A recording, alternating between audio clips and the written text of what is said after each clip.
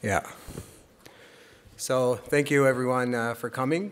Uh, I also want to uh, personally thank Martin for uh, inviting me.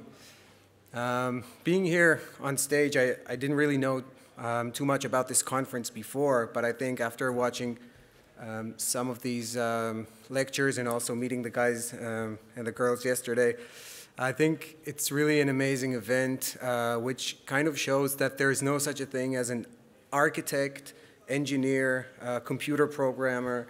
I think we are all makers uh, in some sort, and one innovation in one field leads to an innovation in another. Uh, if someone makes a new algorithm or a new computer, it'll be my job as an architect to stretch that limit.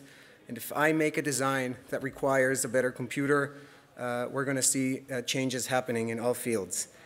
So um, a little bit about myself. My name is Tal Friedman. Uh, I'm an architect.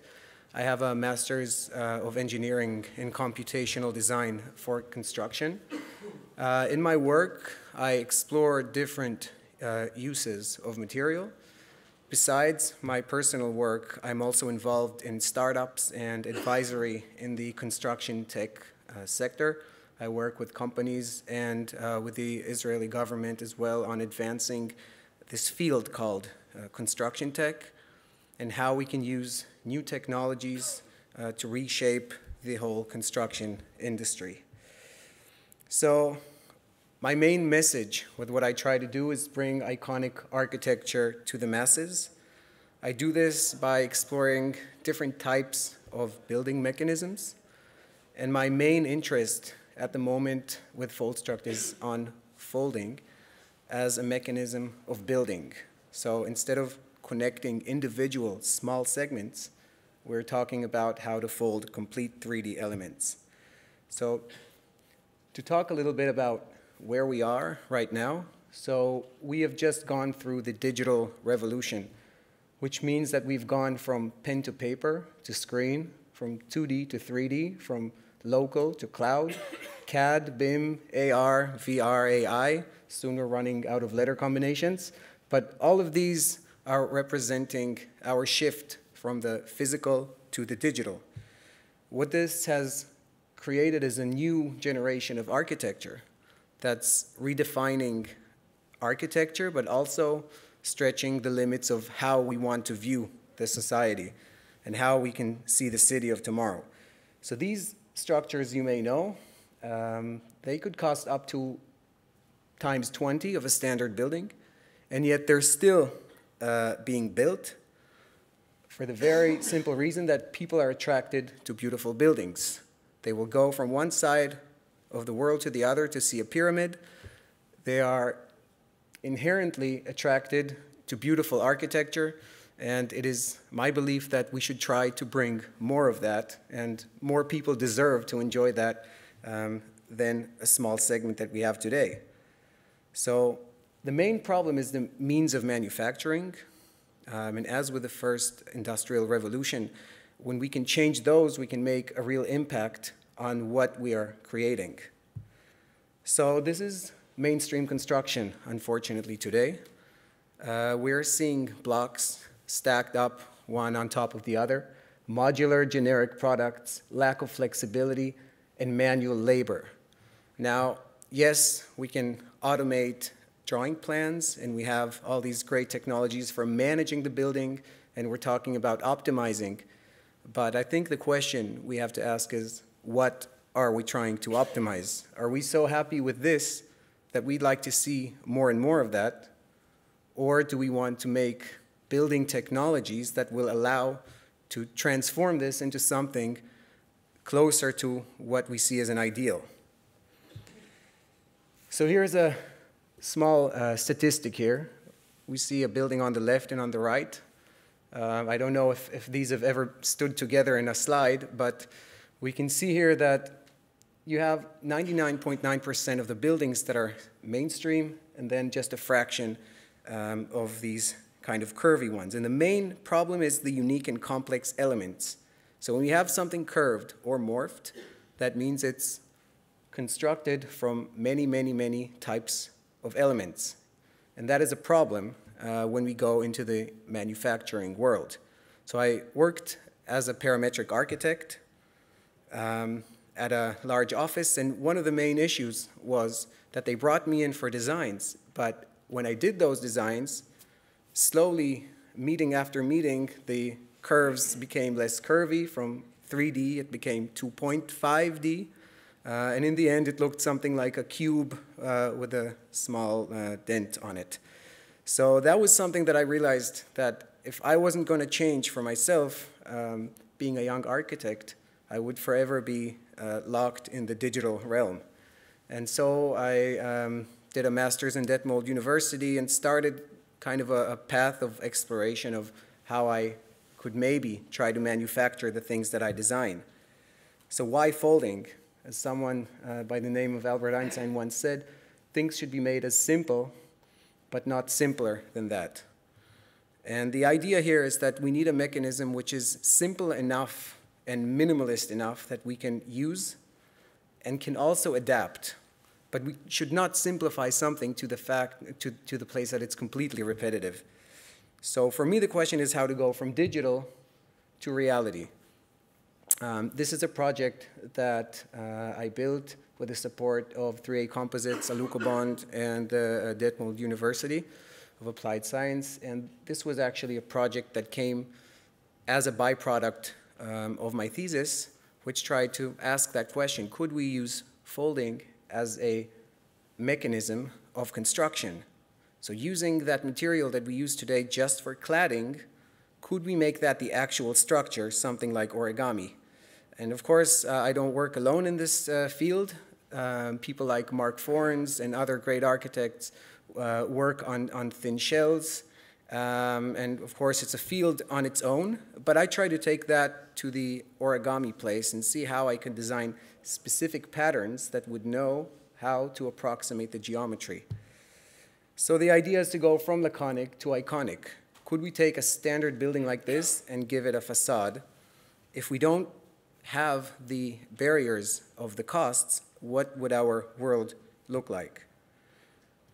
The way that I work is, I would say, with a trinity of material, method, and design, where I could start with any one of the three, but they all have to match. So if you start with a material, then you kind of have to find your limits, and I think that is the most important thing, to first fo follow um, the limits, and from that you can kind of work your way. So here's a project I did uh, with wood, which takes Japanese wood joinery and asks, okay, we have that orthogonal angle. What if we learn to play a little bit with the cutting and produce things that would look a little bit different? So being inspired, of course, always by nature and how things can morph and yet still be in the system, I tried to take that and play a little bit with wood logs. So this is a design for a house whose shell is made out of simplified wood logs that are just cut at different angles.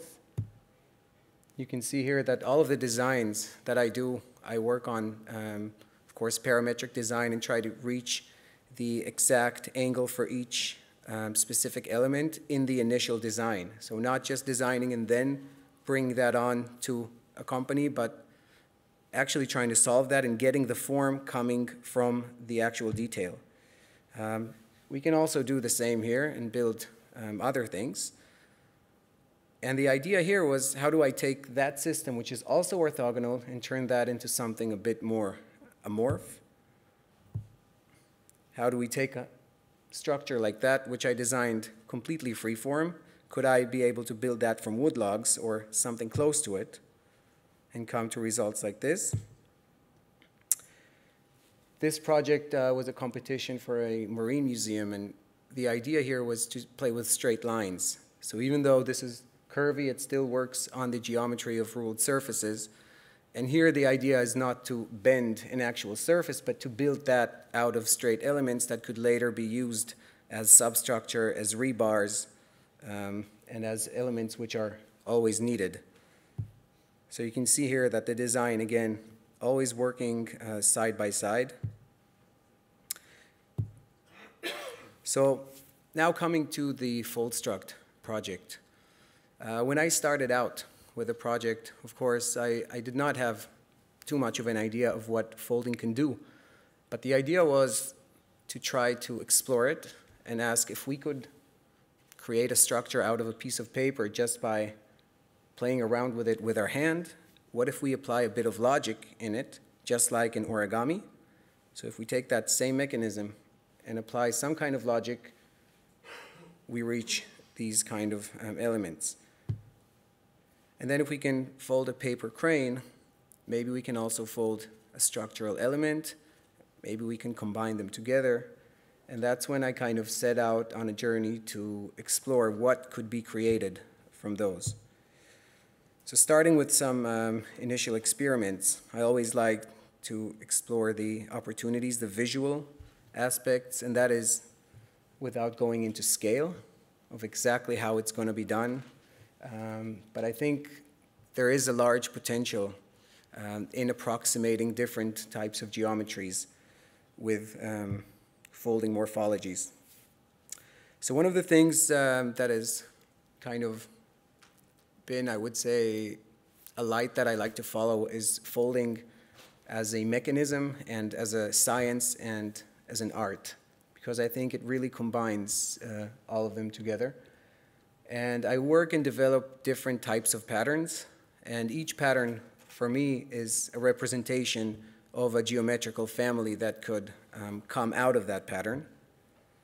So typical days for me can look something like this, folding a lot of uh, different patterns. Uh, I have, I think, a few hundreds of them, which are the ones that I kept, and each one is, is maybe a glimpse to what could be made if we work on that pattern um, and try to think what it can be in the future. The main interest here is that we can follow Gaussian curvatures and we can describe forms that seem free shape at first. Uh, we could define those with mathematical relations and ultimately fold them. So again, going to experiments, uh, the main issue with folding is that you are designing something in 2D and you're not sure what you're going to get in 3D.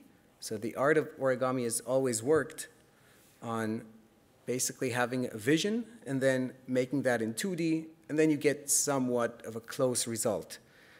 Uh, in architecture, unfortunately, it doesn't work like that, and we have to know exactly um, what our boundaries is and how it looks and behaves in the three-dimensional realm.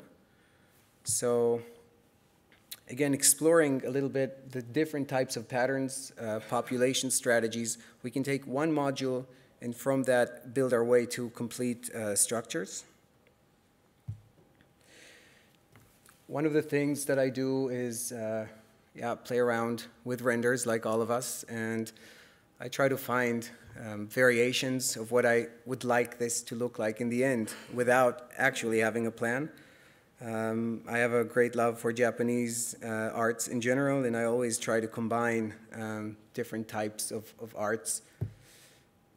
Um, here's a pavilion design that tries to take this module and upscale it. The initial design for the pavilion that I'll uh, describe was done in, in many different forms. And the idea was to find what are my limitations. So of course we have a CNC router and we have the materials and we're very much limited uh, to what it is we can build. And the design should give us, um, should also be a tool to limit ourselves and get the ultimate design in the end. So this was the actual uh, design I started out with. But then, of course, when you learn these restraints, you see that not everything which you can think could be folded or manufactured, or there are so many other uh, factors that have to be taken into account.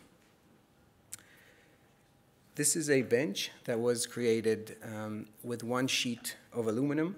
So this is four uh, millimeter ACM panel. And I was uh, lucky enough to be supported um, by the guys at 3A Composites and Alucobond who were very keen on seeing what can be done with new materials. And this bench was actually the first example of um, kind of a structure because we could fit about three people or 300 kilos on that without um, having broken it with only four screws connecting all of that. So if you would compare that to standard fabrication where you would have to weld each and every piece and then you would have to repaint it, I think it's a very, very efficient uh, way to design and to build. So the way I like to look at it is complex algorithms, but always simple construction. The moment we step out of the simple construction realm, that's when we have uh, a lot of problems. And unfortunately, I don't, and I think young architects in general don't have um, the privilege of having Arup or Happold or all these large companies behind them. And we have to find our methods that would allow us to realize uh, the designs. So here you can see very simple. We cut them, we create a robotic folding, and then we plug them on site where everything would be shipped flat. One of the most interesting things about this project for me and, and origami in general is that when you fold something, you are inherently changing its um, chemical structure. And for that, you need very complex analysis. So to say I just have a shape and that's a thin shell structure is not enough. Um, so we did some finite element analysis. Here, the first step we did was a simple thin shell, which assumed that it wasn't folded, but just coming out of a mold. And the results um, did not fit with what we wanted uh, since we are, of course, cutting everything. And then we thought about the fold as a structural member. How do you take into account the actual fold and embed that in the final static um, analysis? And it's very important because when something is done in such a way, you have a lot of forces that you are adding and um, also taking away from the material. So this one little example gave us um, yeah, a new model to, basically make an analysis that was much more correct, but also parametric coming directly from a polygon model. So we don't have to go every piece and make an optimization, but it's kind of a, a direct workflow.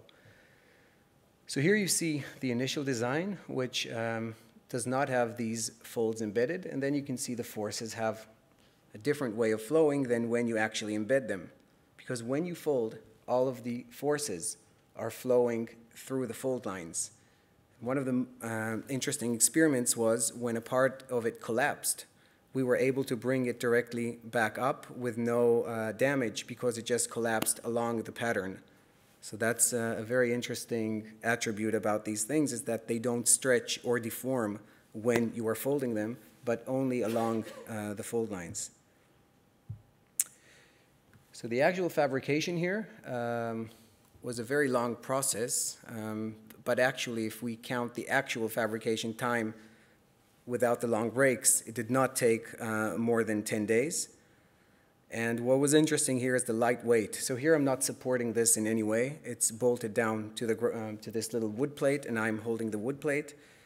You can see this element here weighs less than 10 kilos, so we were able to work in a very efficient way where one would be just holding it and the others um, would do the, the screwing. We actually were two people doing this, me and engineer Muali Manoj, who also helped me with the engineering of this.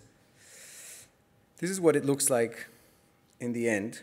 And you can see the main advantage here is that you have very, very high precision. And if you wanted to build that in a standardized way, you would need a lot of nodes, and every node would need to be unique and the prices of such a thing um, are extremely high and unfeasible for everyday architecture.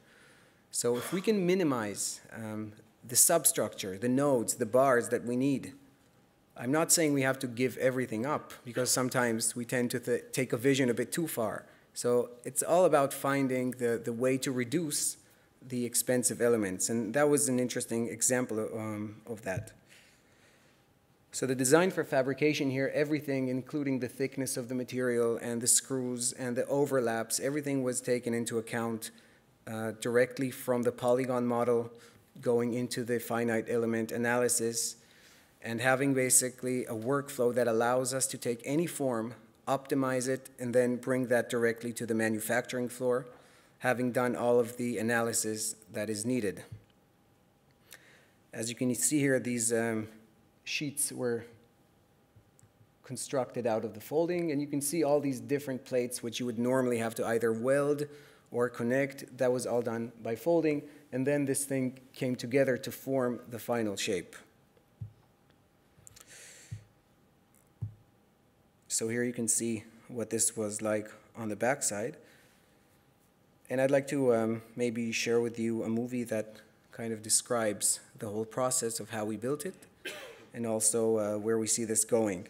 So everything we did here obviously was um, using complex, maybe I would say, it was simplified um, algorithms, but we had to do this manually. So this is basically uh, a project that says how can we do something with the least amount of effort possible. And while we were doing this manually, all the cutting was done with CNC. But the next step is to say how do we make the folding um, robotic. So we had Boston Dynamics. We have a, a, huge robotic movement right now. And looking into autonomous uh, construction, if you don't need the mold anymore and you don't need those heavy processes, how can you bring sheets on site, fold them, and get any form you want? That is the question uh, that we're trying to solve at FoldStruct. Uh, here you can see what it looks like from the top. And you can see everything is very minimal and with no details added. And the idea here you can see is how do we transform a flat panel into a 3D panel. So now I will share the movie and I hope the sound works.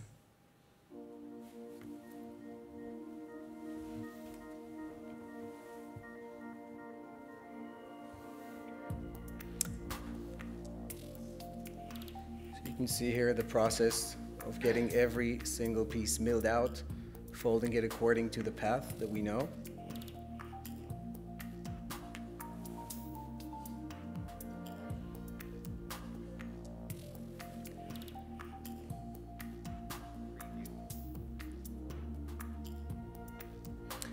And then I'll move on to describe how we actually built it. This is what we just talked about.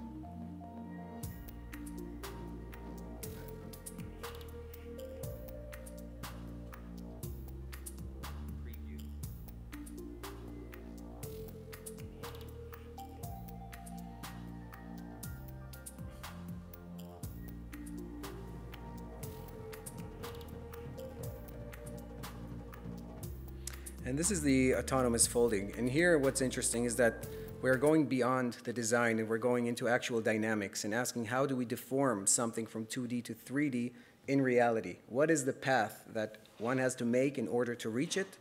And how can we describe that in a mathematical way that could be transformed to a computer and then to a robot ultimately? Because what looks um, very random actually has a very precise math. And even though when we fold uh, a piece of paper and get basically a huge mess from it, there is an underlying logic. And this is uh, what we're trying to solve.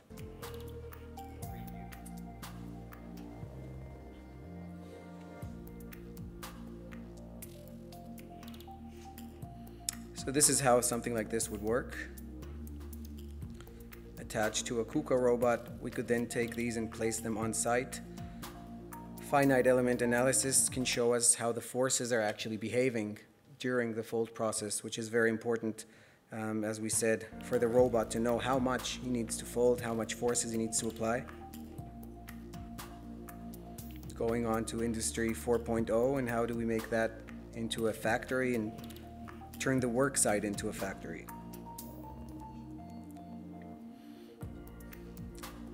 These are standard panels. And we're taking exactly the same method and just applying it in a different way. Same materials, same methods, but just done a little bit differently.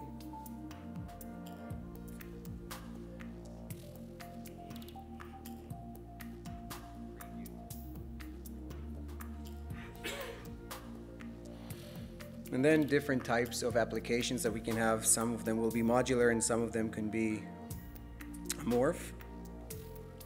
This is a new pavilion design, um, hopefully to be built sometime soon. Sorry about that. And for the next one, oh. okay, so the main question is the applications. Let's say that we solve all of this and we have a working mechanism. What can be done besides pavilions? How could this really affect something like the facade market, which I think is one of the most um, I would say, influential aspects of a building. So if we look at house costs, we see that the facade is what makes a building iconic or not iconic, and I think the most uh, influential thing as, as architects at this time for us to do is, is work on building envelopes and facades. And here is um, my take on that.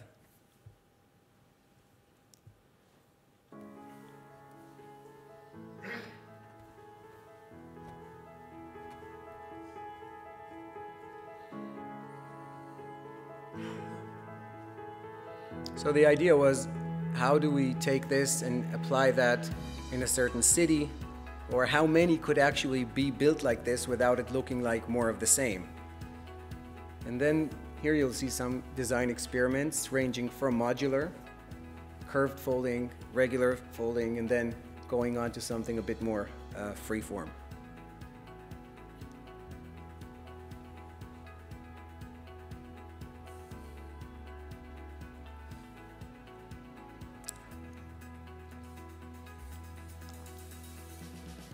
Think we can turn up the volume a bit. okay, so. So this is the freeform design, which says that every single element is going to be different.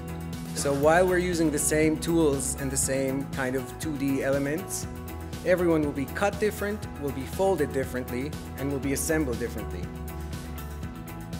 So how could IKEA look like with a technology like this? Should IKEA look like a block or do we want to use IKEA as kind of an icon in the city because in the end it behaves as a modern cathedral. That's where people go to get inspired. And how can we let everyday buildings inspire us on the everyday scale?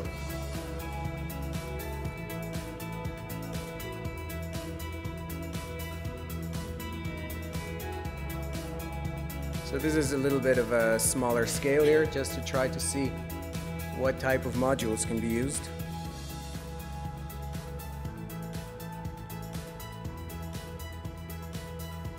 These are modular elements, something uh, very similar to the bench that I described earlier, but just with facade elements.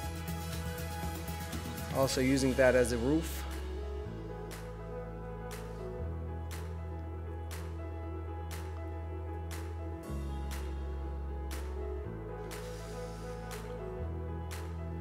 So here it's used one time as a facade, combined together with a roof.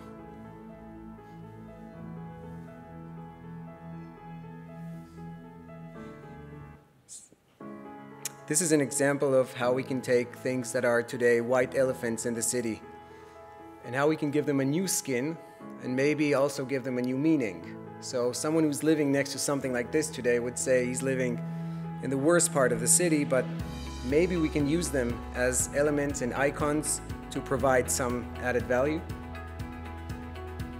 And this is where I personally would like to go the most, and that is um, to amorph structures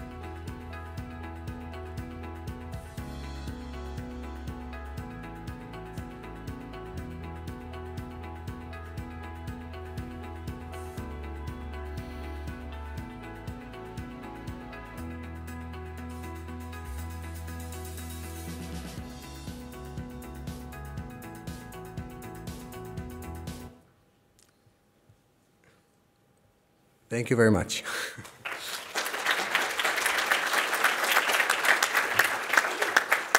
That's beautiful, thank you. Um, okay, so we're going to take just one question because we're running hello, quite a bit hello. behind. Um, any other questions hello. subsequently, please grab Thanks. Tal outside. So do we have any questions? Do we have one question from the floor, please?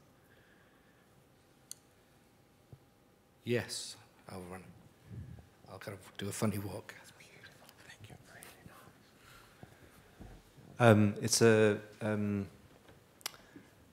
you, you talk about them as being panels, um, but I just wanted to um, sort of provoke you to think. Go ahead. Um, Now's the time. That, um, all of your renderings suggest what this might be as a cladding that's overlaid, but the reality is that more often than not, if you try and go down this road, uh, you have to think about the whole of its construction. It has to incorporate insulation. It needs to interface with the services that are going to be inevitably needed, how it joins to glass, for example, how it creates uh, weathering openings, and, and not just a, a skin. Because I think your work suggests something much more than just um, a decorative cover, um, much more than that.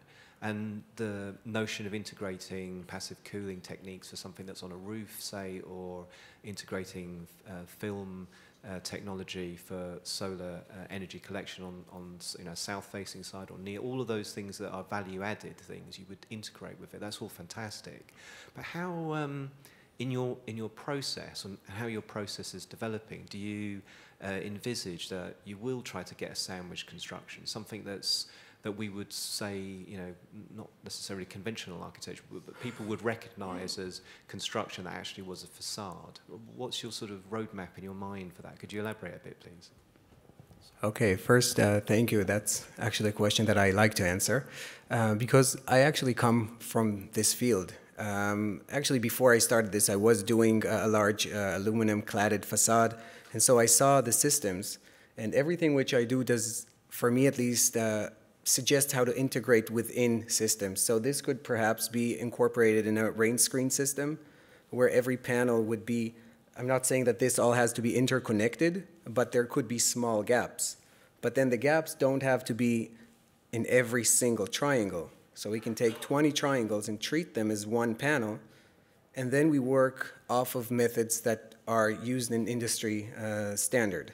So I worked, uh, as I was mentioning, with uh, Alucobond, which are uh, the world's uh, largest manufacturers of these uh, ACM boards, and one of the things was to learn the system. And so everything I do here is kind of, I would say, a takeoff on another system. That's at least how I try to see it, and not completely reinventing the wheel every time.